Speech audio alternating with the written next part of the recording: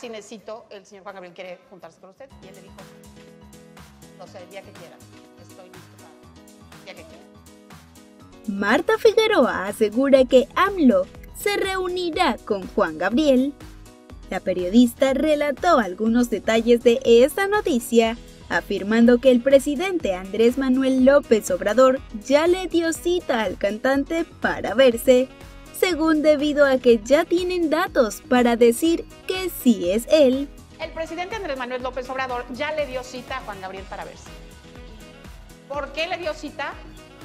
Supongo que porque ya tienen datos para decir sí que venga a verme porque sí es él. Sobre cómo se logró esta respuesta del mandatario, Figueroa contó que el ex asistente del divo, Joaquín Muñoz, estuvo meses tras AMLO, acercándose a través de allegados, además de manifestar que en realidad en las cartas no tenían una petición real para hablar. Se le había acercado a través de unas cartas que al parecer el presidente vio y dijo, pueden ser de cualquier persona, ¿no? Y en realidad en las cartas no venía una petición real de, necesito hablar con usted. Entonces, eh, hace pocas semanas, Joaquín Muñoz, que, que, estuvo enfermo y que estaba en el hospital la semana pasada, estuvo, tuvo un acercamiento con gente ya del círculo primero del presidente. O sea, le solicitó la cita para Juan Gabriel. Sí, ya formalmente alguien le dijo, por ahí no es el camino. Y entonces él formalmente habló con alguien del círculo primero al presidente. Relató que hasta hace pocas semanas Muñoz tuvo un acercamiento con gente del círculo primero del presidente. Sin embargo, fue hasta este fin de semana que se obtuvo el consentimiento de AMLO para que se lleve a cabo esta reunión. Y entonces él formalmente habló con alguien del círculo primero al presidente. O sea, el, no, no el de hasta allá, el los de aquí. No, No, no.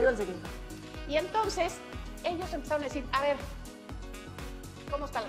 Entonces ya él les explicó, ta, ta, ta, ta, ta.